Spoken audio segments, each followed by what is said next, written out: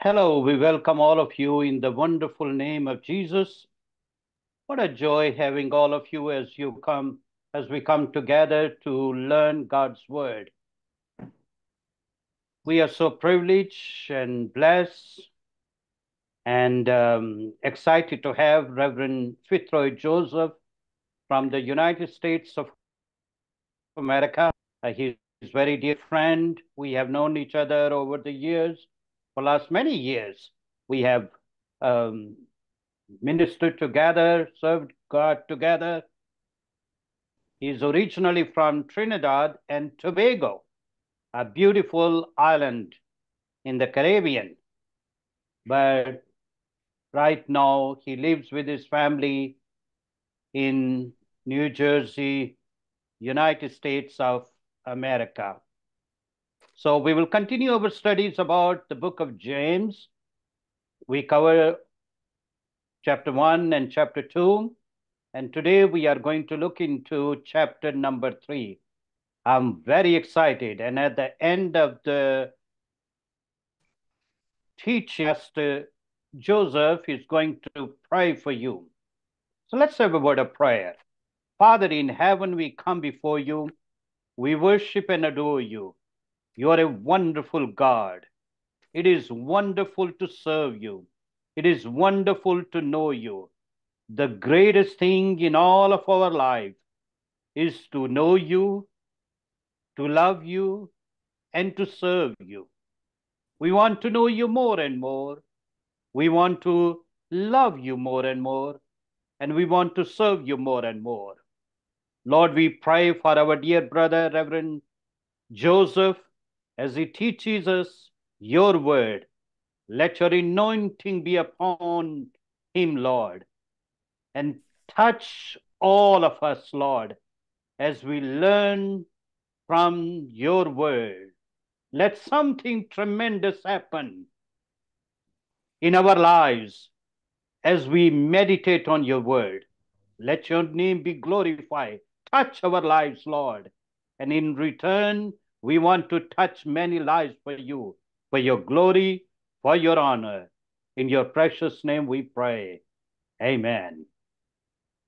So with great joy, it is honor for me to bring to you Reverend Fitzroy Joseph. So I will be out of the scene. So Pastor, whenever you like, I will share the PowerPoint screen. But if you want to do it without, please feel free. Now it's all yours. Praise the Lord, everybody. Amen. We are here. We are glad to be here with you today. And we are about to continue the, the topic in the book of James, which are, there are many topics, but I just want to say a little, say something about the book of James. Uh, and also the, the writer of the book. James was the oldest half brother of the Lord Jesus Christ, according to Matthew chapter 13 and verse 55. He witnessed Christ's appearance following his resurrection, according to 1 Corinthians chapter 15 and verse 7, and was among those who assembled together following his ascension, according to Acts 1 40. To await the coming of the Holy Spirit later. Later, James became the leader of the believers in Jerusalem, according to Acts chapter 12 and verse 17, Galatians 1 18 and 19. Even Paul, the Apostle Paul, took his advice on how to deal with new the new Gentile converts, according to Acts 21, verses 18 to 26. James kept the potentially explosive solution concerning evangelism,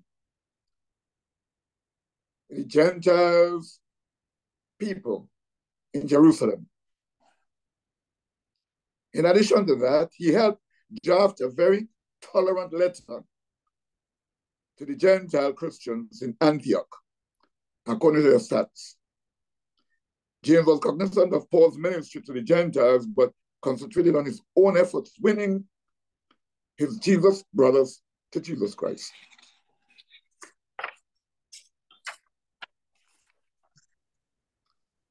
We look at the phrase, uh, the tribes which are scattered abroad, according to James 1 1. That phrase is a symbolic reference to the Jews in general. The, the phrase scattered abroad denotes those Jews who were living outside of Palestine due in great part to the intense persecution of Christians living in Jerusalem according to Acts 8 1. The letter was written in Greek, and uh, we know why, because uh, it's logical that, uh, and we assume that, that these Jews had been scattered far enough to have ended far in populated places, chiefly populated by the Greek speaking people. The major theme of the book, James, appealed to the believers that it is necessary to put our actions with our inward faith, or else that kind of faith will be nothing. It will accomplish nothing. So in chapter one, we see the prayer of faith. We also see the doer of the word. Chapter two, we see the respect of for others. We also see faith without works is dead. Now, Let's get into the text of James chapter 3. And it reads, you can follow me as we continue reading. It says, My brothers, let not many of you become teachers, knowing that ye shall receive a stricter judgment. For we all stumble in many things. If anyone does not stumble in word, he's a perfect man, hmm? able also to bridle the whole body. Indeed, we put bits in horses' mouth that they may obey us, and we turn them the whole body, wherever you may want it to go. It's like a ship looks like a ship. Although so uh, large, those large boats are driven with fierce winds. They are turned by a very little or small rudder wherever the pilot or the master desires. And he went on, on to, to talk about the tongue.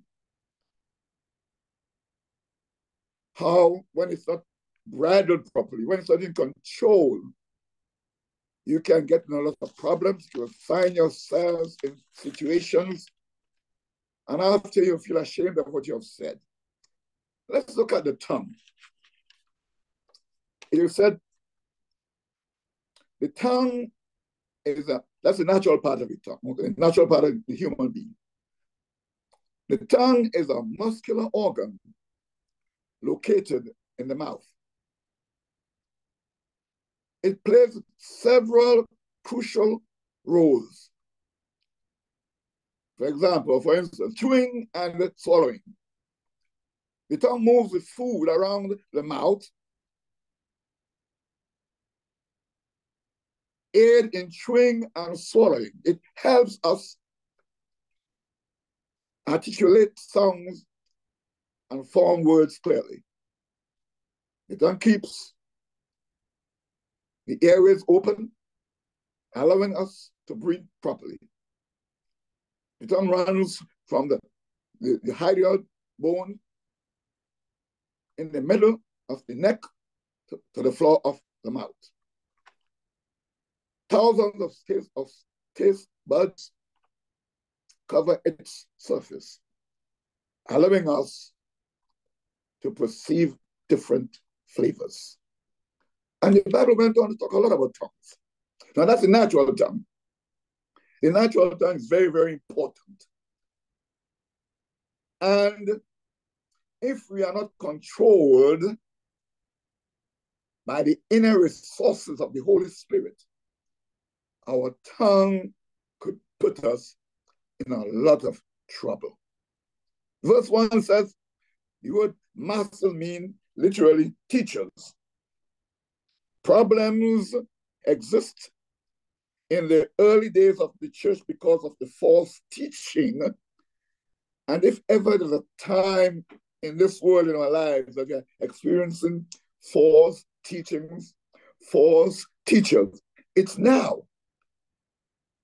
95% of the things you are hearing concerning these new teachings are false. And we know their sources. It seemed it was popular to be a teacher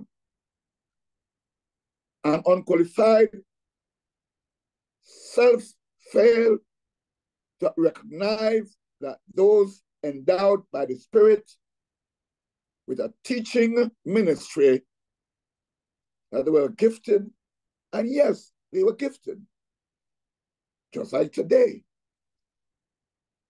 But we got to be very careful if are not fully grounded in the word.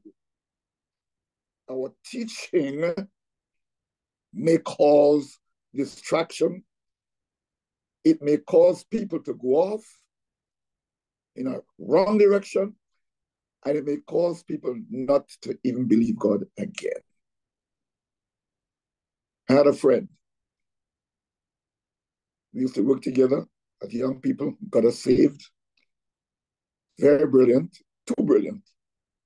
Went to Bible college, went to university, came to America, went to medical school, and she's super bright. And I haven't heard from her in about 30 years. And out of the blue, she found my number and she called me and she said, You still believe in the Bible stuff? I said, Yeah. And she went on and on with all those false teachings. You see, the tongue, if it's not controlled by the Holy Spirit, it can lead you into terrible situations and places. The tongue. The tongue. David says in one of the Psalms, put a door before my lips. Put a door before my lips. To keep the words that I may say and that it's not proper out of my mouth. So it's important to know that we as, as believers, we must speak what God says and what our minds tell us. The scripture summarizes the false teachers or the false, false teaching can come both from within and without. In this case, James wrote to unqualified teachers as my brothers. Wow. The writer here identifies himself as a teacher and indicated that teachers will have to give an account of their ministry in the near future. All believers will appear before the judgment seat of Christ. And there will be degrees of judgments. More will be required of those who have received much. Teachers will be evaluated on a stricter basis because they have had greater opportunity to receive and understand truth. Truth is important.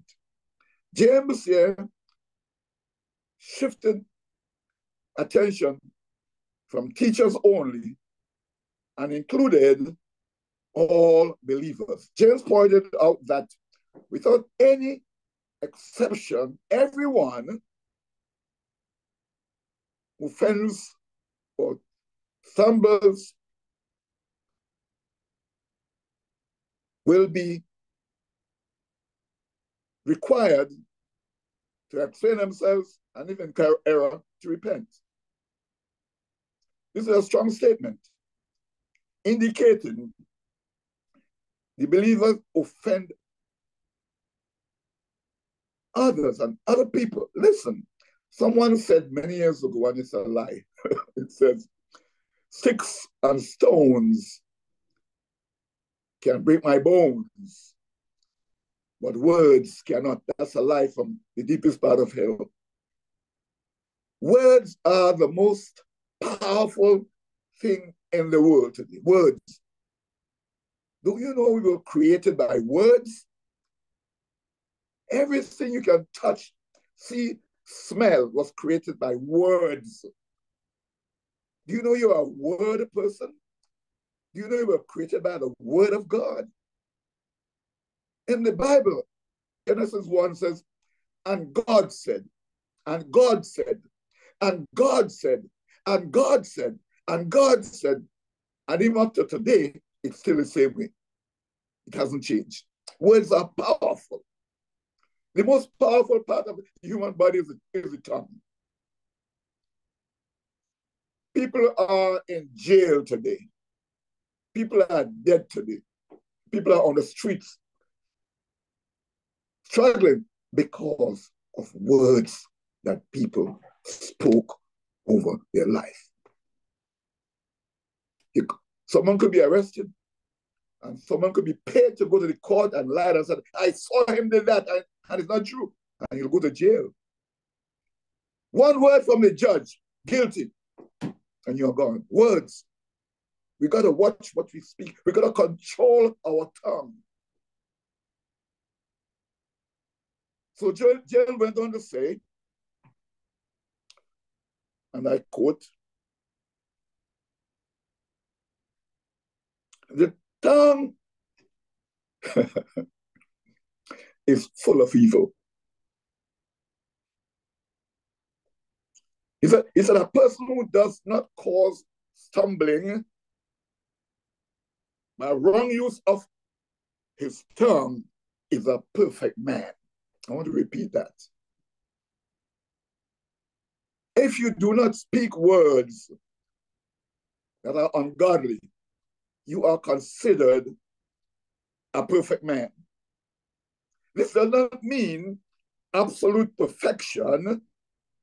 Rather, it means he is a believer of spiritual and moral maturity. John, John went on to say that such a person is able to bridle his whole body. He is using the illustration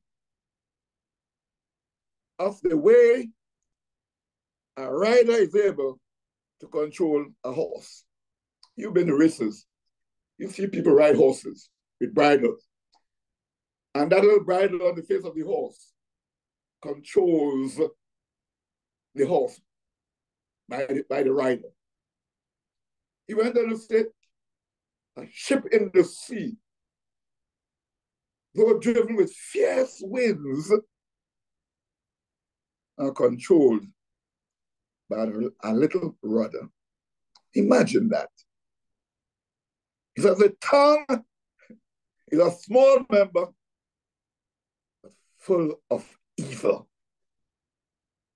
James for us illustrate the, the relationship of the activity of the tongue to the activity of the entire body. With the rudder of a ship. A slight pressure on the rudder of the ship controls its course. Imagine that. Your tongue. Do you know you are what you are today? you are who you are today because of your tongue. Let me give you a simple illustration.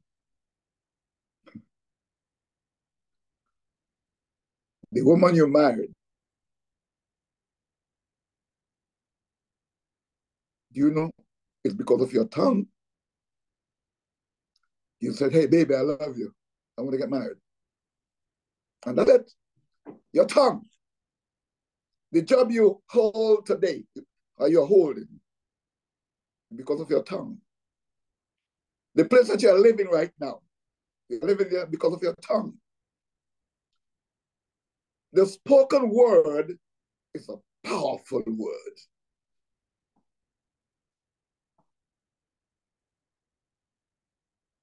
So we got to control our tongue. And one of the ways to control your tongue is to surrender your total being to the Holy Ghost, the Holy Spirit. Amen. That's why Paul says, let this mind be in you, which was in Christ Jesus who being in the form of God, thought not robbery to be equal with God, but made himself of no reputation. He humbled himself when, when he realized who he was, and he be, became obedient unto death, even to the death of the cross. Wherefore God has highly exalted him and given him a name which is above every name. And what is it? At the name of Jesus. When you speak his name, demons tremble. When you speak his name, sickness has to give up its control, excuse me. When you speak his name, sickness has to give up its control. He may not kill your enemies, but when you speak, he will set up a, a table before you in the presence of your enemy. Your word is power. The Bible says the word of God is sharper than any two-edged sword. You cannot do anything without your tongue being involved. Proverbs 18, 2 says, Death and life are in what? Where the power of the tongue. Death and life are in the power of the tongue. The tongue is a powerful part of your body. And the Bible, the writer illustrates it by a horse, a big ship in the sea. Just imagine that huge ship in the sea is controlled by a little rudder. And this 250 pounds human being, if it's not controlled, if his tongue is not under control, it will be chaos.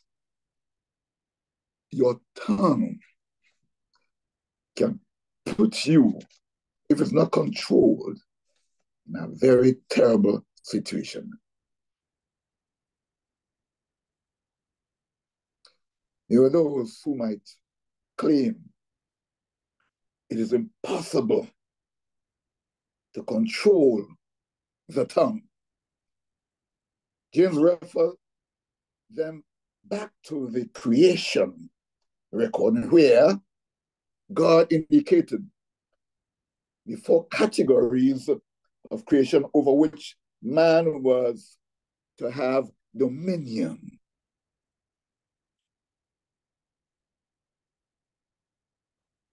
The word here translates tame, T A M E D, might more accurately be translated subdued. Subdued. Your tongue must be subdued by the Holy Spirit. You cannot control your tongue except the Holy Ghost comes in when you surrender and, and allows Him to take over by reading the Word, by studying the Word, by obeying the Word. Obedience the key issue where controlling your tongue is concerned. Many animals raging in excuse me, many animals in such shape and size, they could be as uh, fierce as ever, can be controlled by their tongue and your tongue. Do you know when you speak the word, things happen? I'm afraid of dogs. but one day I was going in a dog was, and that was crazy. I said, I rebuke that tongue of yours and I command it to be quiet. And immediately, the dog became quiet. I was confronted by a bully. One night I was driving, and the guy cornered me and came out with his fist in the air over my face. And all I said, I rebuke you in Jesus' name. And the guy froze, literally froze by my car. The tongue. The tongue. Use your tongue properly in the right way. You can control and be in charge of any situation when your tongue is controlled by the Holy Ghost. Just like how that little rudder straightens the ship, that little bridle control the horse. You got to put your tongue under control, but you cannot do it except you surrender your total man to the power of the Holy Ghost. James called it tongue full of deadly poison. In describing the activities of his enemies, David wrote, adders, poison is under their lips. Hmm. That's James 140 and verse 3. The untamed tongue refers speaking evil rather than good. Psalm 52. It refers destroying rather than helping. Psalm 64 2. It seeks to destroy reputation and moral through slandering gossip. Not moral, but morale through slanderous gossip. Gossiping is terrible. It comes from the tongue. In the previous verse, James dealt with the nature of an evil tongue. The tongue, however, is capable of speaking both evil and good. It says, can a cistern pro produce sweet water and bitter at the same time? No. But the tongue, however, is capable of speaking both evil and good. Wow.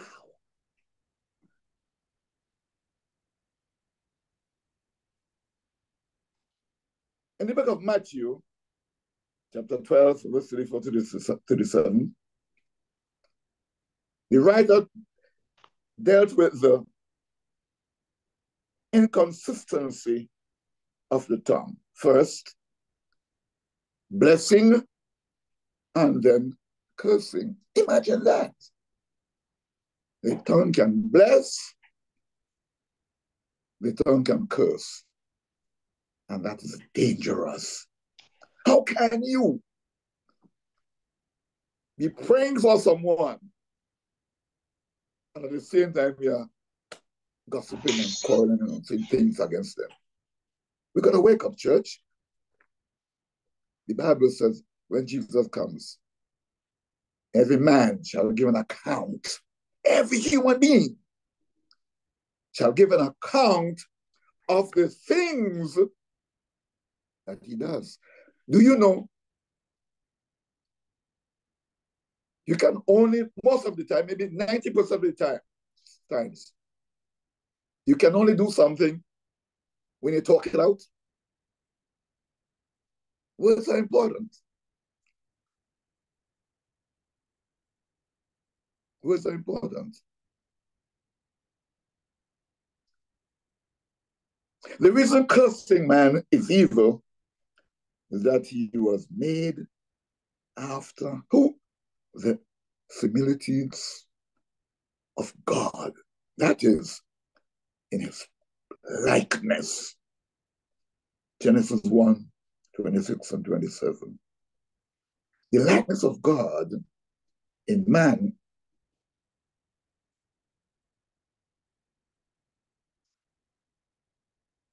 the likeness of God in the human being is consisting of intelligence, emotions, and will. We call it the image of God.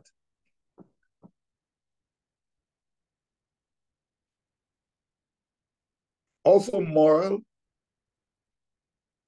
tendency towards God, etc., etc., etc. Through accomplished or efforts being accomplished. You as an individual, you have to come to the place of realizing that you are not your own. You were bought with a price. Therefore, you must glorify God in your body and your spirit, which is God's. You're not yourself. You don't own yourself. To curse man is to curse the likeness of God. Others have pointed out that the tongue is capable of both good and evil. Yes, both good and evil expressions. However, the writer points out that it is unnatural for both good and evil to come from believers, as James emphasized. These things ought not to be. James was not writing to unsaved people, but to, it, it states the, the epistle, brethren, brothers. So that means he was talking to the people in the church. Do you know how many churches have been destroyed because of gossip?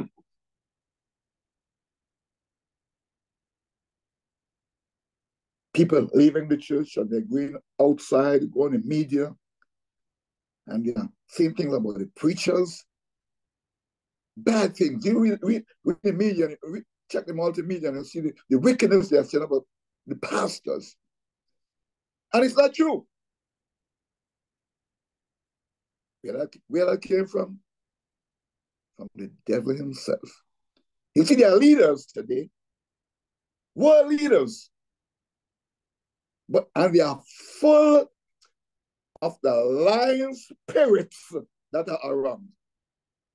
They don't speak the truth at all. And as they speak the, lie often and over and over, it, it to other people becomes the truth. People are being paid to go, go on multimedia and lie about people. There are some leaders, they tell you, this is the way it goes. I'll do this. But it's the other way, the opposite. Those, those spirits are not to be in the church, are not to be in the church. As I said before, James was writing to unsaved, was not writing to unsaved people, but to, to brothers, to believers. Mixture of good and evil speaking can be expressed from natural man, but it is totally out of place for the believer. It should not happen. A natural man is a sinner, not his life, but the believer, there must be a straight path. James said in James chapter 1, give me a minute, I'll get it for you. James chapter 1.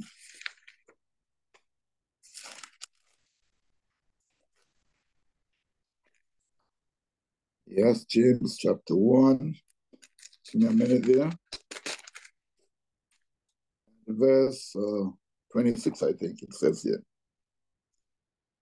If any among you thinks he is religious or righteous, whatever you want to put it, and does not bridle his tongue,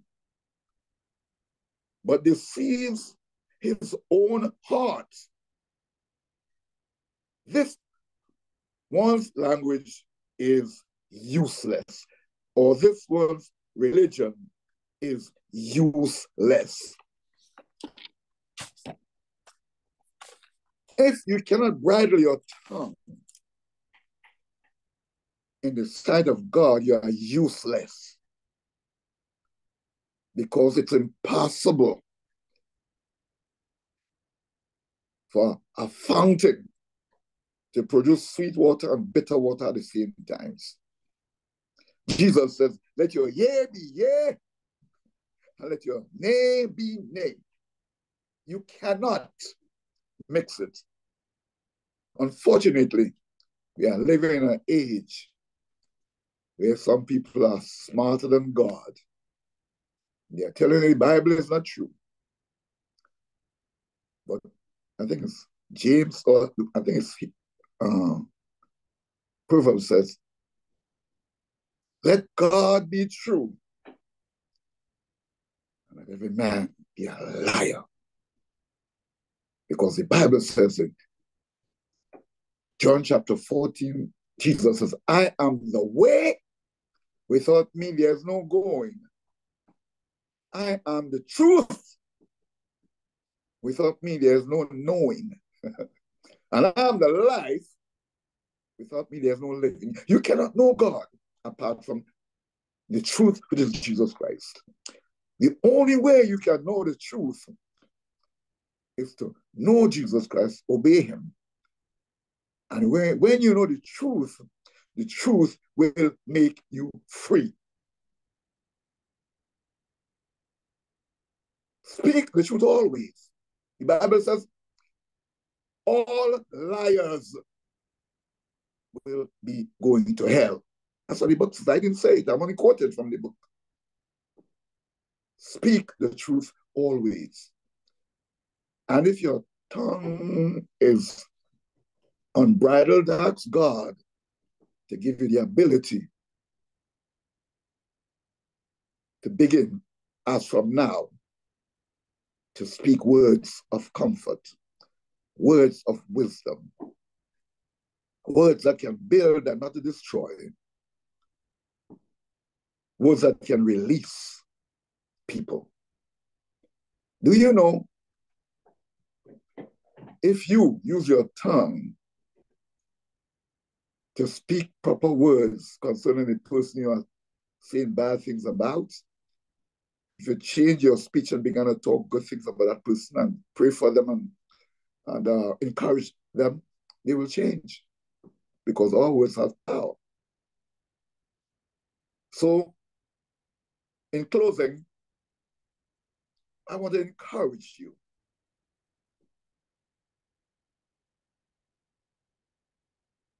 to begin as from today to ask God to, con- to control your tongue. Because the teachers that James are addressing, they were not speaking the truth concerning the gospel. This was the sin of hypocrisy I mentioned in Matthew 6. Jesus demonstrated the true spirit of the teacher when he said, I am meek and lowly in heart. The godly teacher will not be selfishly ambitious and arrogant, but mild and gentle. Mild and gentle. You won't be envious because envying here translates zealon or zealous. But zealous in the wrong way.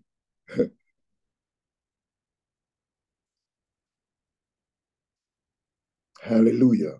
This Eve is also listed as a work of the flesh in Galatians chapter 20. Because envying brings strife, and strife brings division. And it's always better to say something good about somebody and not evil. I'm talking about the church, not the outside. We are dealing with the church. Always practice to speak the right thing and proper things concerning your brother because you were created in the image of God likeness of God. And when you judge your brother, God says that's not good.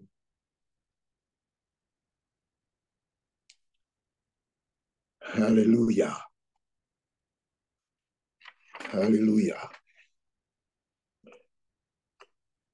So I'm glad that I was able to minister to you today. Let's look at the last verse of the text. It says here, the fruit of righteousness is sown in peace. Why did he say the fruit of righteousness? James showed that the product of earthly wisdom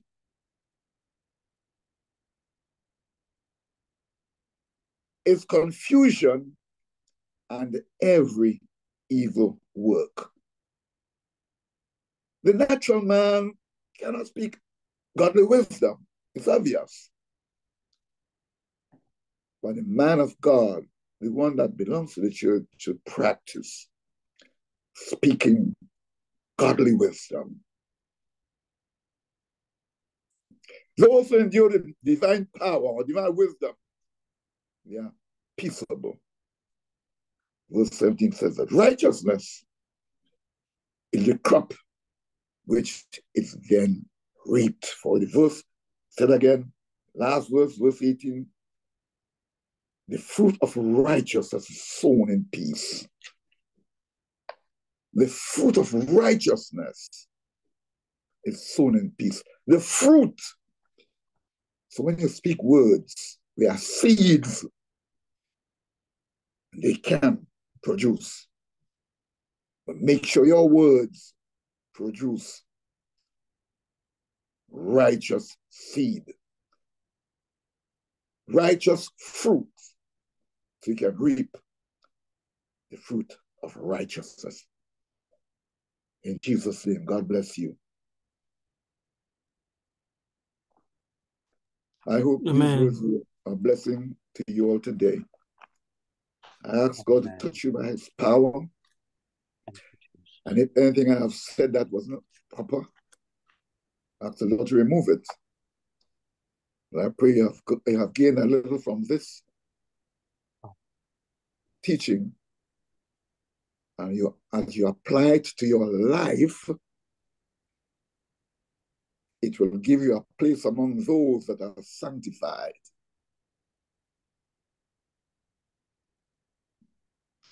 So ask the Lord to touch your tongue, touch your spirit, touch your mind, mm.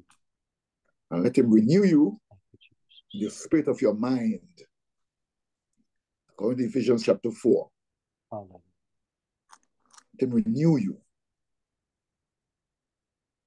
Paul said in Romans chapter 12, I beseech you, therefore, brethren, by the mercies of God, that you present yourselves, your bodies are living, that include your tongue, sacrifice, holy, acceptable unto God, which is the reason of the service.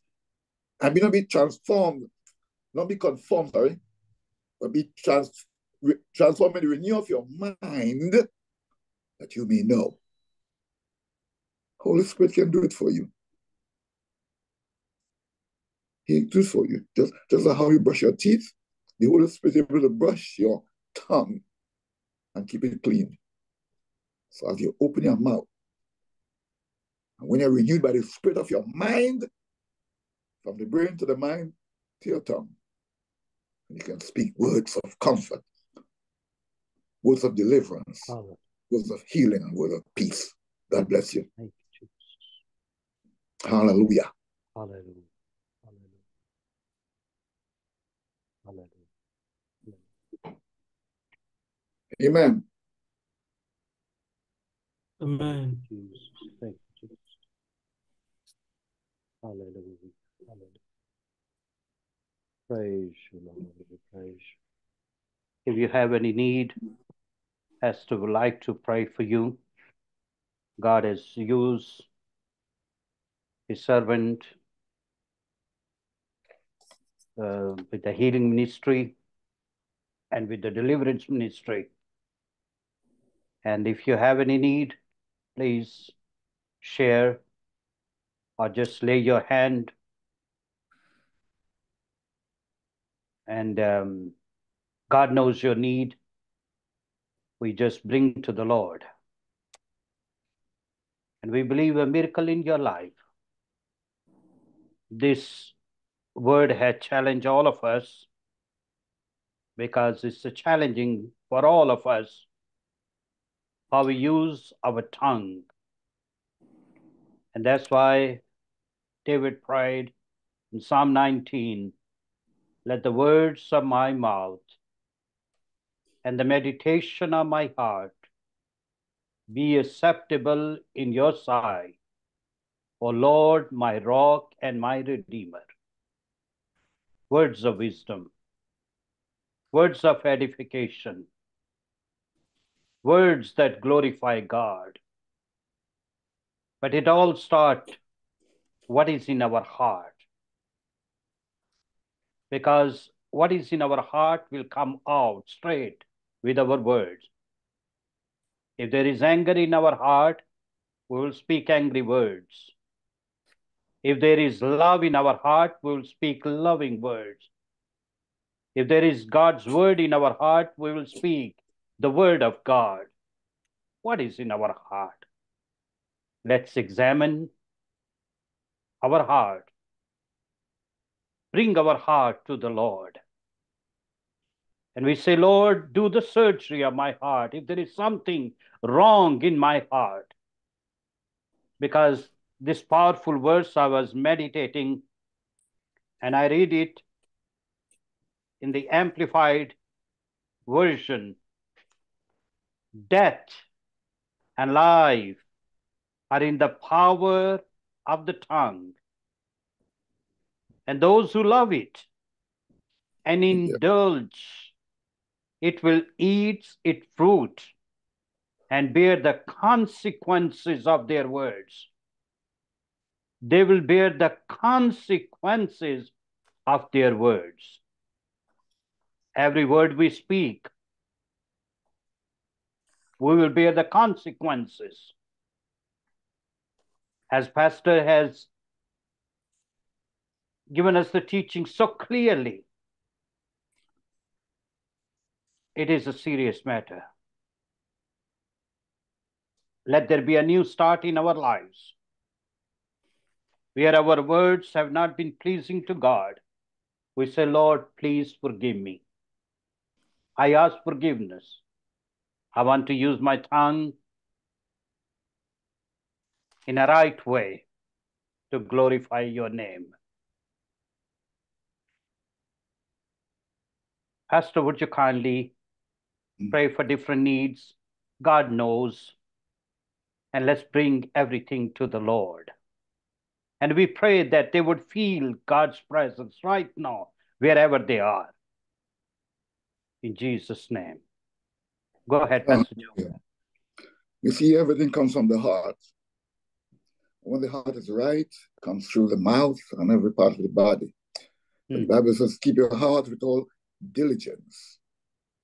Keep your heart Amen. with all diligence, for out of it are the issues of life. So, Father, today, I bring all those that have are within the reach of my voice. I'm asking you to touch each one, Yes, Lord. wherever they are, whoever they are, Hallelujah. Hallelujah. By our Holy Spirit. Those who are struggling with gossip and slander, I come against that spirit because it hmm. is a spirit. In the name of Jesus. Hallelujah. Hallelujah. And we command it to be removed from that person's heart. We command it to be removed right now. Bring conviction Thank you, Jesus. so that person or persons could come to the place and surrender and say, Lord, forgive me. Mm. Wash me in your blood. Mm. Give me the strength to stand for righteousness and haven't done all, stand perfect Mhm. before you. Thank you, Jesus. Those who are sick, you told us to pray Hallelujah. and not to pray, but to heal the sick. Yes, Lord. We command healing to that body or bodies right now. Wherever is sick, Hallelujah. Hallelujah. if you are Hallelujah. there and you are sick with your hand, uh, right hand on your stomach, Glory, glory, glory. Hallelujah. and I speak the word of healing, you, you will be healed. Not tomorrow or next, but right now. Right now. Yes. I curse that thing and I command it to leave you alone. I release you in Jesus' name. Amen.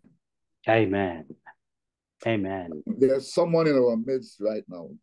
The enemy is troubling you with thoughts in your mind, negative thoughts, negative thoughts.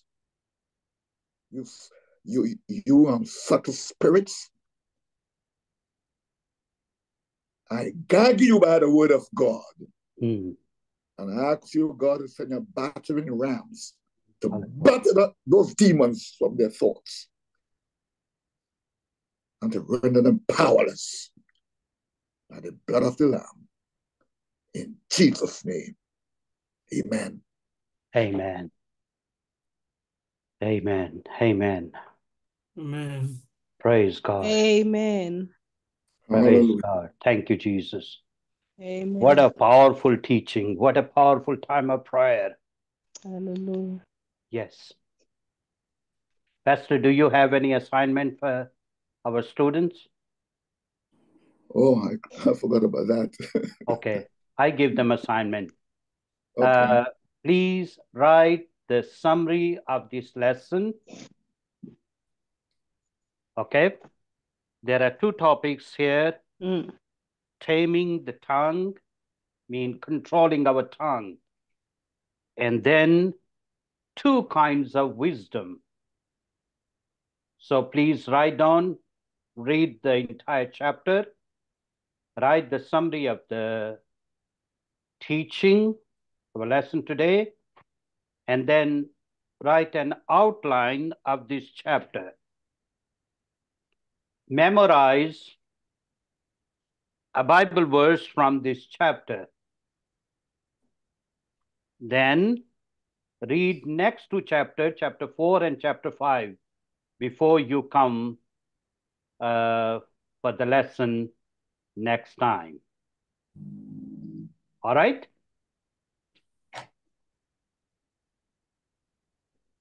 Do you understand what I said? Thank you. Thank you. God bless, dear brothers and sisters. We love you very much. Thank And you. you have much. a wonderful week. Thank you. Thank you. God bless you. God bless you. And see you next week. Pastor Fitzroy Joseph, Reverend Fitzroy Joseph will be Yes. teaching us again uh, Yeah. chapter number four and chapter number five. So God bless you. Have a wonderful week. Thank you, Pastor, for your wonderful teaching. We love you. Yes. Hope it- I hope it's a blessing to you all. Thank you. Okay. Okay. Thank God so bless. much. Bye bye. Bye-bye. Bye bye.